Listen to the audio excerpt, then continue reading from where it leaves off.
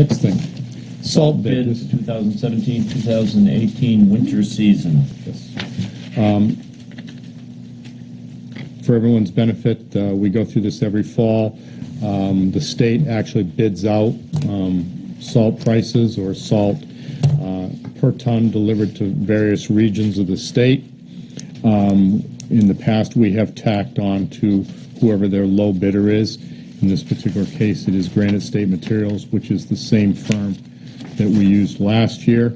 Uh, This year's price is fifty-three thirty per ton delivered to our yard. Uh, The price last year was fifty-one seventy-three. Um, I've given you a copy of the, um, their, if you will, letter saying that we want to tack on to the, to the bid. I just would need your authority to do so.